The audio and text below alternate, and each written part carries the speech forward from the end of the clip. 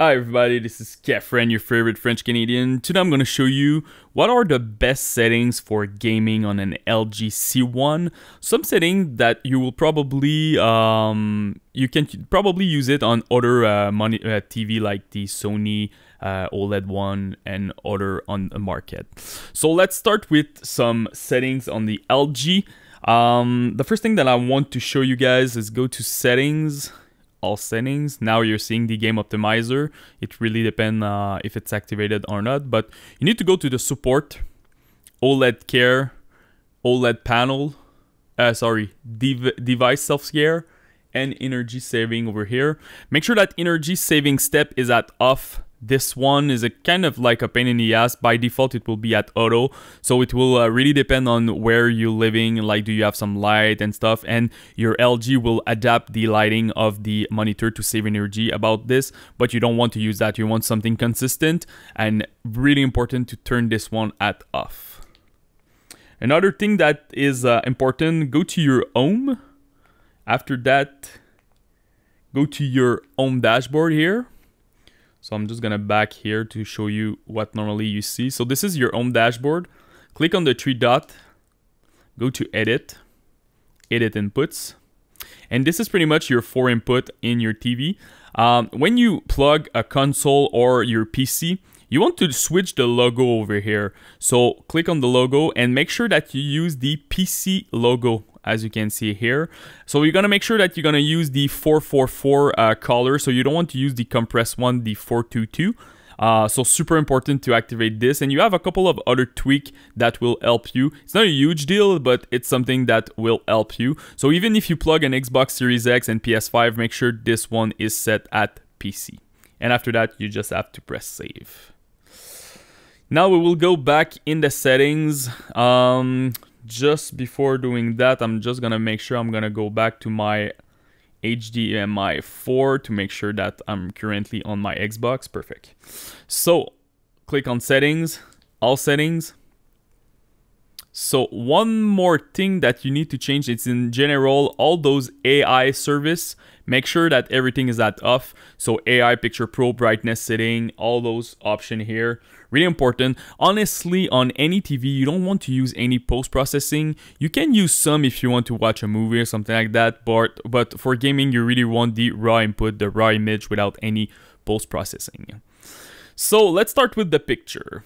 So now the first thing that you want to make sure it's your mode, make sure that you're using the game optimizer. After all this change that I will show you, you will see the word user here. It's because I have like a special profile because I modify a little bit the game optimizer.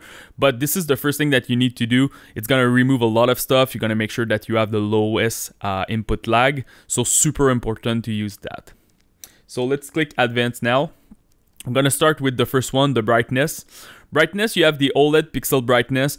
Um, this one will not impact your image quality or your input lag or whatever. It's more question of preference. Me, I'm using 65. You can go uh, until like 100. Really depend like where you are in your house. Do you need more light? Do you have like some spotlight going on your TV and you need more brightness because of that? Really depend on you. For the contrast, I really recommend 85. And for the screen brightness, I recommend 50. For the gamma here, I recommend 2.2. It's a good middle ground that you can use. By default, it will be, I think, BT 1886. Uh, so make sure that you're using the 2.2. You can't use the auto black level. It's pretty good on this TV, so no problem to use that. And your motion eye care, make sure this one is at off. After that, we're gonna go to color. So color depth, I recommend to use 55. Tint, you can use zero.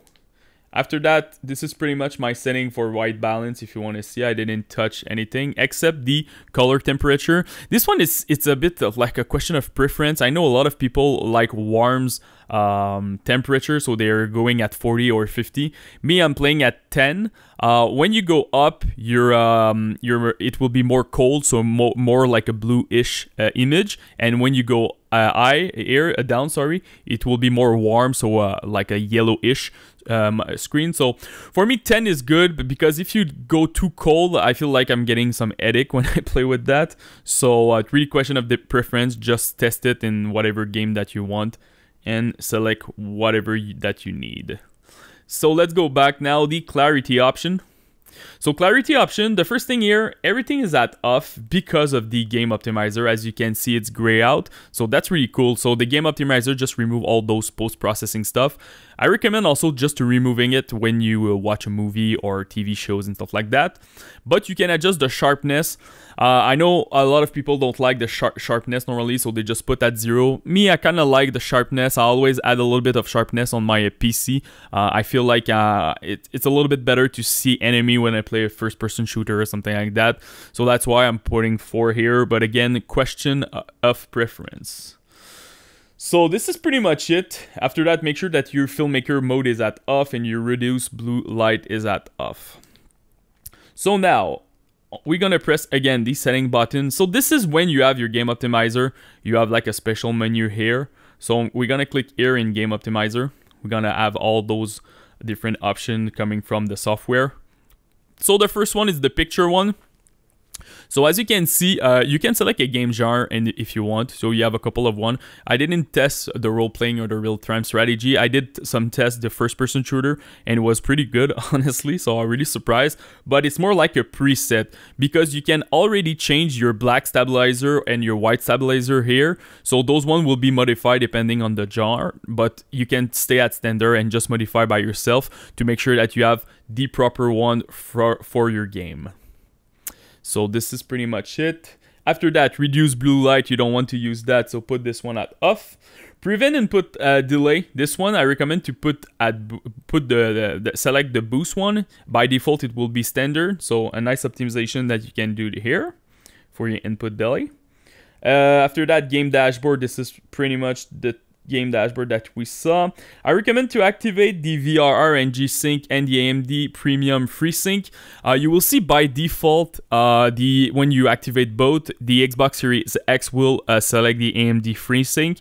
Uh, before, I was telling some people to just use the VR one uh, because it has some issue, uh, the, the FreeSync with the um, 120 Hertz and the Dolby Vision, but now it seems to be fixed. I did a couple of tests and everything run smoothly. Uh, really important also to update your firmware. Uh, just go you're in your setting, update your firmware to make sure that you have the latest one. They correct a lot of different stuff for the past four months, so super important to have that.